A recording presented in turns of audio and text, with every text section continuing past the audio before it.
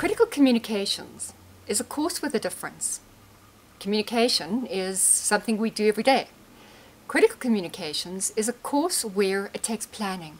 You've got to strategize for it. If we tried to do that with every conversation, we would probably not have the conversations we need to. So critical conversations looks at three elements being present in order for it to be a critical conversation. Number one, the stakes are high. The outcome matters to you to phone the person and to set up the appointment. That's a, that's a seven step process. That is what critical communications is all about. Thank you.